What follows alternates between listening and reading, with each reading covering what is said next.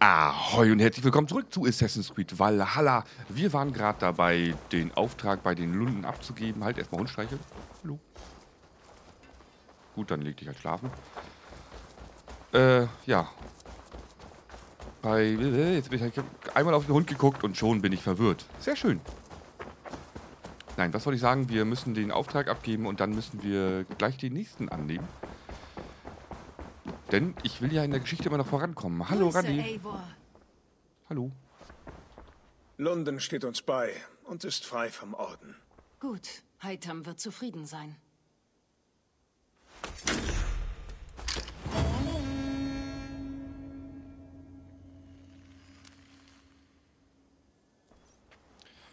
So, und wer weiß, vielleicht finden wir gleich wieder einen Auftrag, wo wir mit Sigurd, dem alten Gotteskind, zu tun haben werden.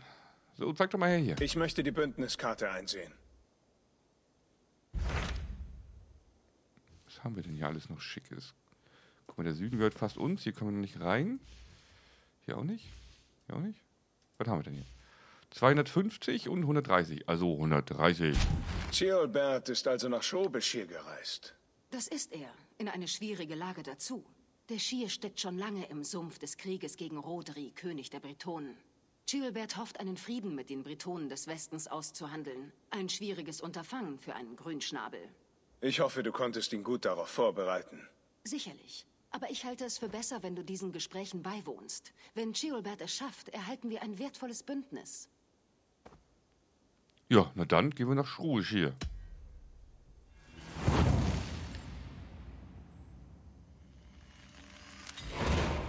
Ich breche gleich nach Schobeschir auf. Ich bin erleichtert. Er und Ivar sollten gerade in Quadford sein. Du findest es entlang des Säfern. Wenn Iva bei ihm ist, werde ich dringend gebraucht. Was? Iva ist super. So. Und ich gucke dann gleich mal, ob ich noch ein, zwei Gebäude hier freischalten kann. Derweil Ich sollte mit Heitam sprechen. machen wir gleich. Überblicke das Land, Freundin. Können wir irgendwo sehen, wie viel wir haben?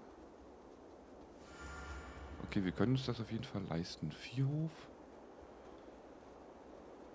Hatten wir irgendwas, was nicht der Festma als Hütte der Seherin? Guck mal, die schaltet noch Visionsquests frei. Was ist das da hinten gewesen? Achso, das sind Erze. Karis Haus. Moment. Einmal umdrehen hier. Was ist das? Jagdhütte. Haben wir die nicht eigentlich schon... Ach nee, das stimmt. Wir haben die freigeschaltet. Die... Die Dinger mit der Cyan-Markierung. Muss ich jetzt mal überlegen, wie die Farbe heißt. Bäckerei. Okay, dann würde ich sagen, erstmal... Eigentlich ist es erstmal egal, ne? Ich würde sagen, die Seherin trotzdem zuerst freischalten. Ups, falsche Taste. Weil die für später ja noch ein paar Quests bereithält. Und dann können wir ja gucken, ob wir noch genug haben. Um die anderen Festmahlverstärkungen Unsinn. mit Das hat freizuschalten. nichts mit Kunst zu tun. Du weißt die Feinheiten eines bissigen Sports nicht zu schätzen. Deshalb verstehst du. Die beiden streiten sich auch so wochenlang, ne? Ich meine, die stehen da jetzt schon eine ganze Weile. So, Seherin. Und die Seherin Walker kann dir dabei helfen, deine Sinne zu erwecken und tiefer in deine seltsamen Visionen einzutauchen. Naja, ich weiß ja nicht.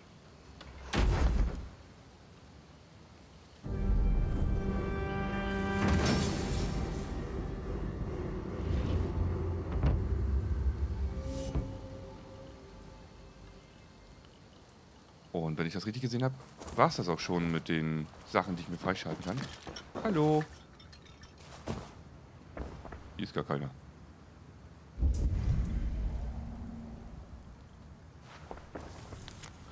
Verstreute Zutaten Walkas, Wacholderbeeren, Barschkiemen, nee, Barschkiemen, Krallen einer weißen Taube, roter Lehm.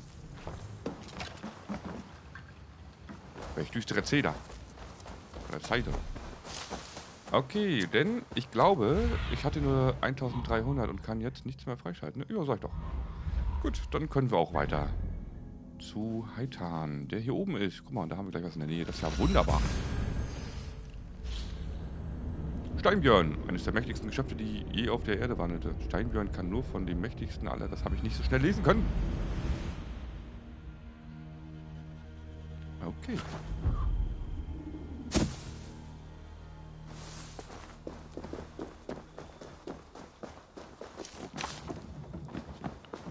Immer schön alles einsammeln, gib Geld.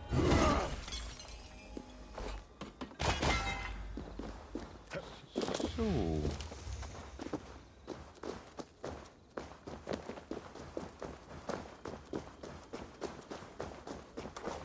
Kann ich hier mit dem Wolf lang? Ja, oder?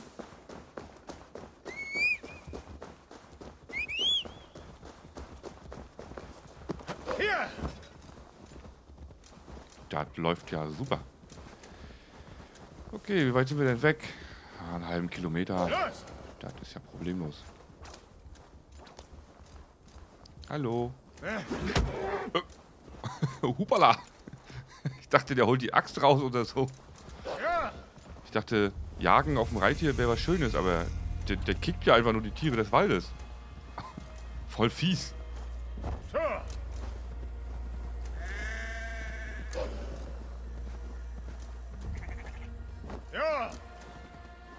Okay.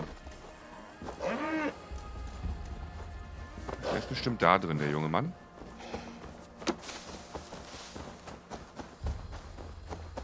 Hallo. Komm, sieh dir an, was ich habe. Ach so, du bist nur so eine Stallmeisterin. Was kann man denn hier machen? Ach so, das habe ich ja alles schon. War's das? Ja, das war's. Ciao. Wir sehen uns später. Okay. Flieg, Freundin. Okay, der ist erst da oben. Dann juckeln wir da mal kurz hin und gucken mal, was der so Schönes zu sagen hat. Was?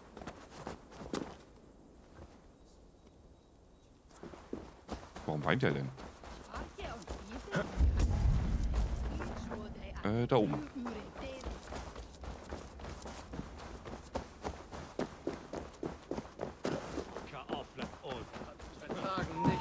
Fesseln und Rüben. Mehr konnte ich nicht finden. Das riecht Ach, da. so gut. Hier, bitte, Junge. Du könntest kein Lamm abwehren. Komm schon. Meine Schulter tut weh. Iva hat den Typen echt lieb, ne? Nicht so.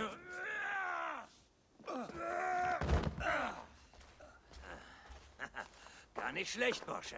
Sei wilder, dreckiger. Hau mir in die Eier. Iva, willst du den Jungen ausbilden oder quälen? Bei sowas sind die Übergänge fließend. Eivor, sei gegrüßt. Du hast also meine Nachricht rechtzeitig erhalten. Unsere Verhandlungen mit den Bretonen haben noch nicht begonnen. Ich werde an deiner Seite sein, wenn es losgeht. Sollte ich vorab etwas wissen? Der ehrwürdige König Rodri ist hier. Mit ihm führe ich die Gespräche. Rodri will unbedingt Frieden, seit wir seinen jämmerlichen Bruder gefangen haben. Guriat. Der Name klingt wie wenn man Rotze hochzieht. Guriat ab Merwin. Rodri wartet bei der Kirche in der Nähe. Wer vertritt Schrobisch hier bei den Gesprächen? Der letzte Aldermann wurde im Kampf getötet. Bischof Diorlaf springt ein. Bis wir diesen grünen Schnösel eingesetzt haben. So wünscht es sein Vater. Die Vorstellung, einen Schier ganz allein zu führen, ist schon etwas, etwas beängstigend.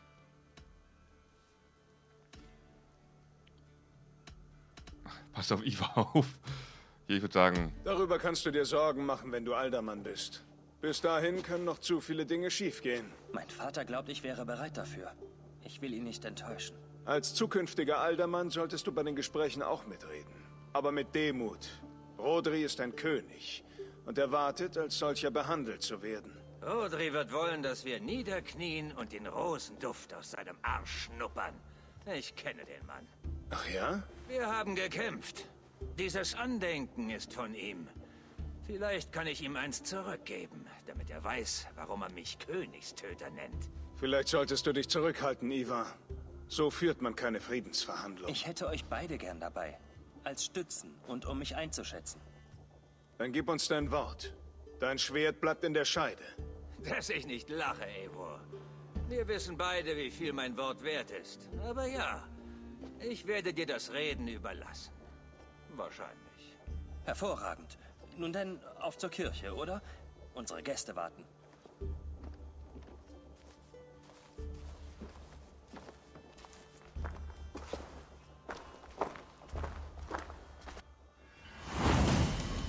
das Buch der Drachen. Iva ist aber auch ein Haudegen. Mann, Mann, Mann, Mann. Es ist nicht weit, am anderen Ende des Dorfes. Wir sind mit den Britonen seit bald zwei Jahren im Krieg. Die Bretonen hatten die Oberhand, bis meine Berserker und ich sie aufmischten und Rodris Bruder verfolgten, bis er in einem Graben landete. Deshalb will Rodri jetzt Frieden. Das verdanken wir Ivar. Wie ich mich freue, ihn winseln zu sehen, die alte Eiche. Viel lieber würde ich sie natürlich fällen. Es würde meine Legende besiegeln. Deine Legende? Als Königstöter.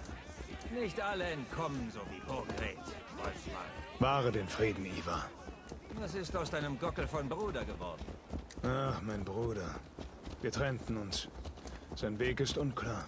Du solltest diesen Tauge nichts besser hinter dir lassen. Ja, ich weiß ja nicht, ob das auch eine gute Idee ist. Es wird schon früh genug zu einem Konflikt mit ihm kommen. Was? Das war's? Da hätten wir auch hingehen können. Die armen Pferde. Voll sinnlos. Ähm, wollen wir? Wa- Warum versteckt ihr euch beide in dem Busch? Was habt ihr vor? Unser Bischof Djorlaf und König Rodri sind bereits in der Kirche vor uns. Diese christlichen Häuser, alle so kalt und hart. Und dennoch ist es darinnen wahr. Jesus Christus eint König Rodri, Bischof Djorlaf und mich selbst. Auf seinem Grund wird Frieden geschlossen. Ihr alle, ihr Britonen-Feiglinge! Erstickt! Na dann, rein da. Hauptmann Unir, erläutere dem guten Bischof unseren Standpunkt. Ja, mein Herrscher. Bischof Djurlav. Wir hören uns keine Friedensangebote an, solange uns Guriat nicht übergeben wurde. Der Bruder des Königs Der ist... Bruder des Königs ist ein stinkender Haufen Kuhscheiße. Du, dein Gesicht, dein Gestank. Ich kenne dich. Ivar, den man den Knochenlosen nennt. Hast du diese Narbe nicht mir zu verdanken? Und ob. Und ich werde dir auch eine Narbe verpassen, du Pisspott. Mitten durch deinen fetttriefenden Schädel. Genug, alle beide. Mein Herr, das ist Ceolbert, der kommende Aldermann dieses Schiers und Sohn von König Ceolwulf von Mercia. Dieser Frischling? Aldermann? Du kannst ja nicht mal allein pinkeln, Bursche. Na, na, beruhigt euch doch. Zeigt etwas guten Willen. Ihr kennt meine Forderung. Solange mein Bruder Guriat nicht frei ist, kann es keinen Frieden geben. Er soll froh sein, dass er noch lebt. Er ist beim Wegrennen in die eigene Klinge gefallen. Bald helfe ich dir, in deine zu fallen. Rodri, bewahre einen kühlen Kopf. Es ist zu unser allerbestem, Frieden zu schließen. Erst mein Bruder. Erst dein Kopf auf einem Spieß. Dann lass ich den Wicht laufen. Rodri, nein! Es reicht. Dies ist ein Haus Gottes. Geben wir uns kurz Zeit, um uns wieder zu sammeln, ja? Eivor, zu mir. Ich kenne dich nicht gut. Aber Ceolbert hält dich für einen besonnenen Kopf. Genau das brauchen wir jetzt. Es könnte zu spät sein. Die Kriegskrähen sammeln sich schon. Ich habe eine große Menge Silber. Rede mit den Leuten hier. Wenn Silber jemanden überzeugen kann, Frieden zu wollen, dann biete es ihm an. Ja, hat ja super geklappt mit Ivar, äh, der mich sprechen lässt. Das, ja. So. Was sagst du? Die Verhandlungen stocken. Vielleicht sind sie zwecklos. Keine Sorge. Du wirst schon noch Aldermann. König Rodri, Was gibt es, Däne? ich will uns zu Frieden verhelfen. Ich rede nicht über Frieden, solange mein Bruder Guriat nicht frei ist. Wenn du erst dem Frieden zustimmst, bekommst du ihn zurück. Würde etwas Silber helfen, diese Kröte zu schlucken. Mich kann man nicht mit geplündertem Silber kaufen. Geh fort. Na dann. Reden, reden. Die ganze Zeit nur, Hm? nur reden. Habe ich nicht gerade fokussieren gedrückt? Vielleicht sollte ich erstmal mit Ivar quatschen. Dem Hund. Eva, Die Türen verrammeln, das verschwitzte Schwein aufschlitzen und gut ist. könnte ich dich mit Silber besänftigen, während wir nach Frieden suchen? Frieden. Glaubst du wirklich, dass es dazu kommt? Ich hab dir gesagt, ich kenne diesen Arschling. Würde Silber dich beruhigen? Vielleicht, vielleicht auch nicht. Ich müsste das Silber in meiner Hand spüren, um das zu wissen. Hier. Verflucht, sagst du. Hier ist das Silber. Tu damit, was du willst, aber verdirb uns die Aussicht auf Frieden nicht. Ich wusste nicht, wie schlecht du mit Geld umgehen kannst. Silber, gut. Wie viel Silber habe ich überhaupt bekommen? Wo steht denn mein Silber?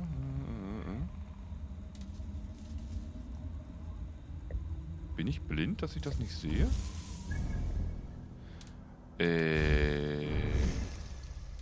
Achso, warte mal. Vielleicht hier im Beutel? Ah, okay. Alter, das war ganz schön teuer. Wie viel hat er mir gegeben? Totprügeln, so schwer ist dieser Sack. Oh, wer bist du denn? Du bist Goriat, nicht wahr? Der Bruder von König Rodri. Ja, eine geschlagene Figur in eurem blutigen Spiel. Wie stehst du zu deinem Bruder? Mein Bruder liebt mich sehr. Und doch ist er langsam und stur. Wäre ich König, hätte ich einiges anders entschieden. Was, wenn du es sein könntest? König? Ich würde die Gelegenheit wahrnehmen. Aber man braucht Reichtum, um einen König zu stürzen. Um die Edelfreien zu überzeugen, du verstehst? Ich will nichts versprechen, doch vielleicht könnte ich das Silber auftreiben, das du brauchst. Unter welcher Bedingung? Stoße Rodri vom Thron. Ziehe alle bretonischen Soldaten aus Schobisch hier ab und überschreite nie wieder diese Grenze. Wenn du es ernst meinst, gehe ich diese Abmachung gerne ein. Ich überleg mir das mit dem Silber. Ich erzähle Bischof mit was ich herausgefunden habe.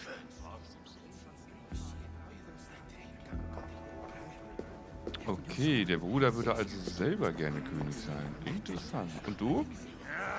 Genug von dem Schwachsinn.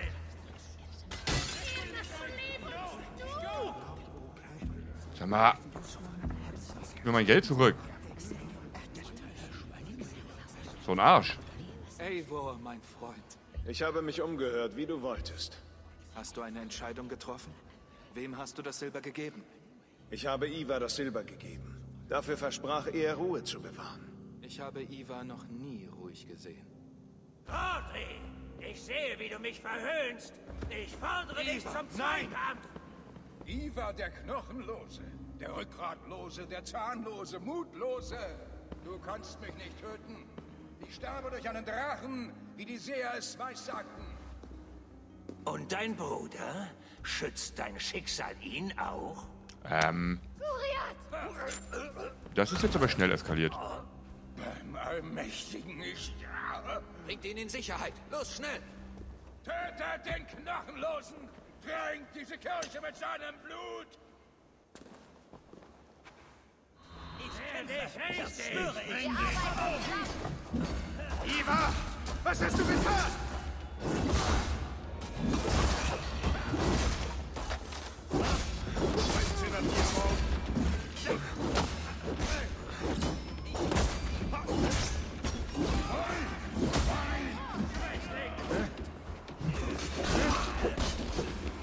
Ach nee.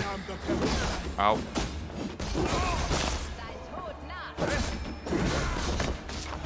Aua.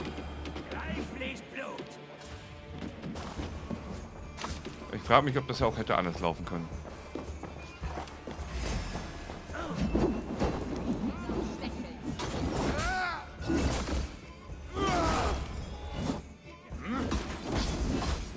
Aua, Alter. Äh, ich hab mir doch ausgewichen. Na, tolle Wolle.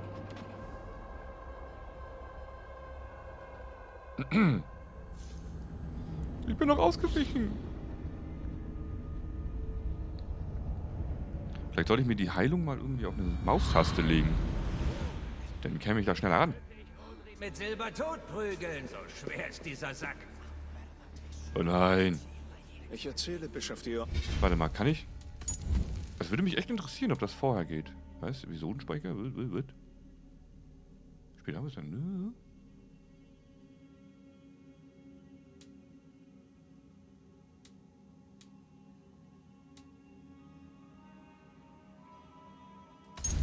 Ich glaube mal den. Ich gehe nämlich fast davon aus, die Eskalation wird trotzdem so stattfinden.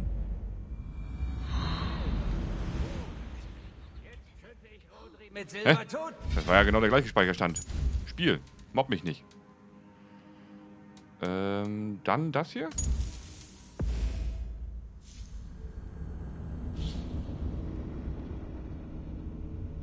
Vor allem möchte ich auch noch mit den anderen reden eigentlich.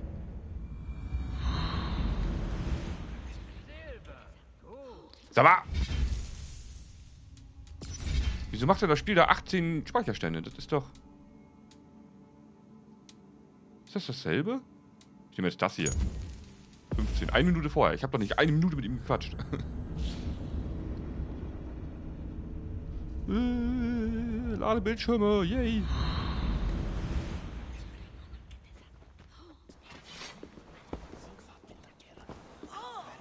Okay, das war jetzt genau nach dem Video.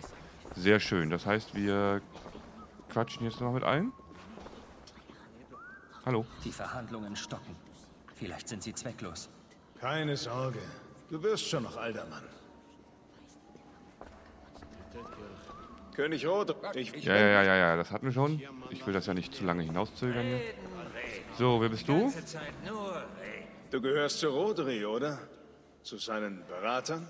Das ist richtig. Ich bin Üni Abkatwach. So sprichst du mich an.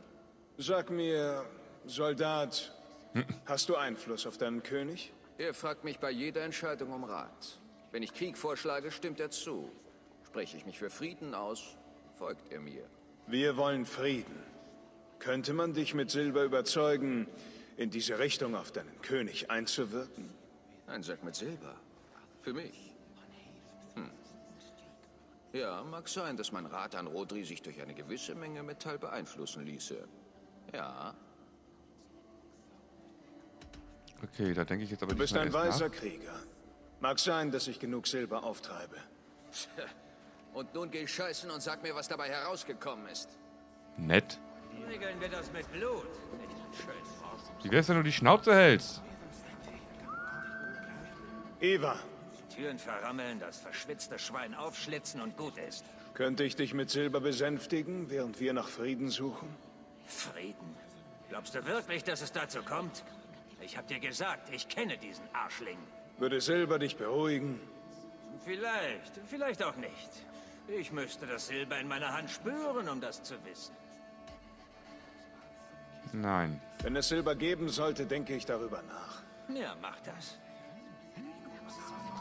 Das Problem ist, ich gehe fast davon aus, dass er ihn, ihn trotzdem tötet. so viel Angst? Herren, wollen wir nicht den Zorn überwinden und zu einer Einigung kommen? Was sind Rodris größte Bedenken? Der Krieg hat die königliche Schatzkammer gelehrt.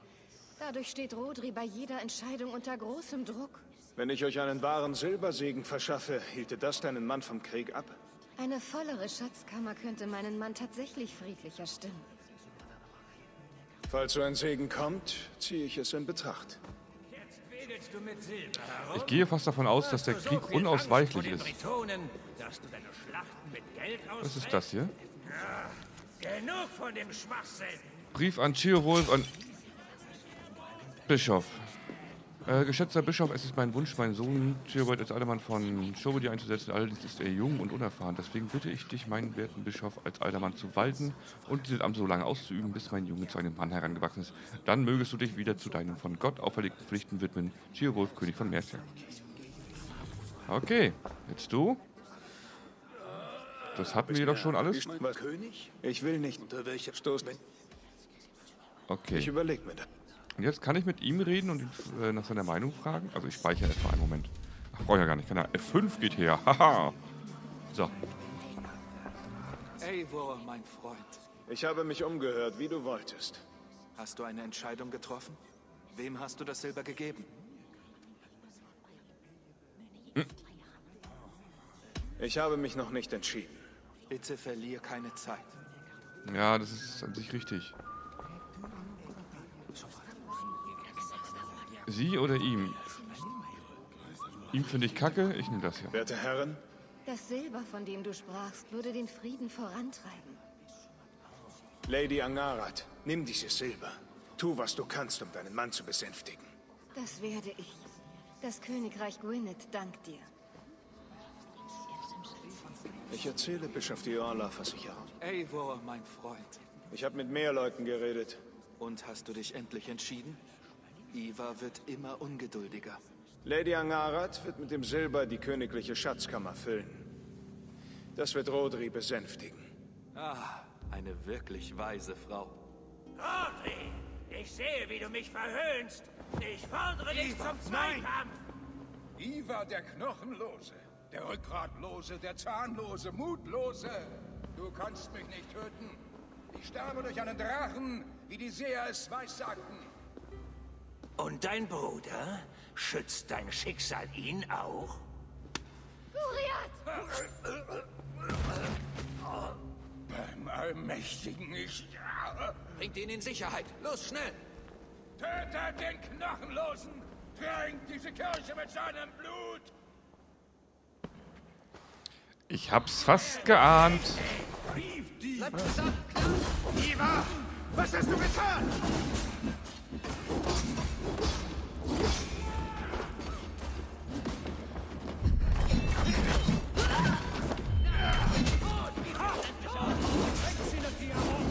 So, komm her hier.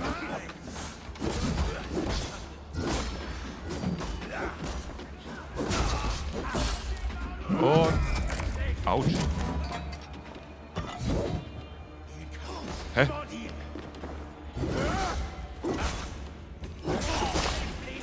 Da habe ich aus Versehen Iva das Ding an den Kopf gehauen.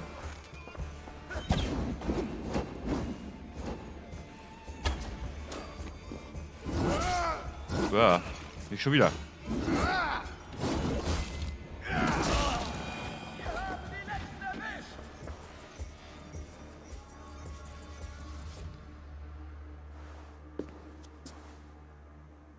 Ah, so verhandeln Wikinger.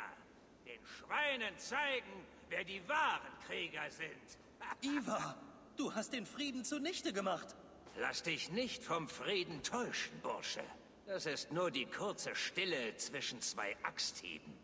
Mein Gott, was für ein Massaker. Wir haben keine Wahl. Wir müssen uns den Weg freikämpfen. Ah, ein guter Test für dich, Junge. Herr, vergib uns. Bleib bei mir, Ceolbert. Deck mir den Rücken und ich ziehe die Messer aus deinem. Gütiger Gott. Bleib hier, wo es sicher ist, Bischof. Hilf mir mit der beschissenen Tür. Ah, der Iva, ne? Ich meine, ich mag ja seine raue Art und so, aber das war vielleicht ein bisschen kurzsichtig. Aber egal, das werden wir erst in der nächsten Folge sehen, denn äh, wir sind schon bei 27 Minuten, auch wenn es ein bisschen gedauert hat wegen dem Laden, aber trotzdem. Und da sage ich schon mal vielen Dank fürs Zuschauen, hoffentlich bis zum nächsten Mal und bis dahin, gehabt euch wohl und bleibt gesund.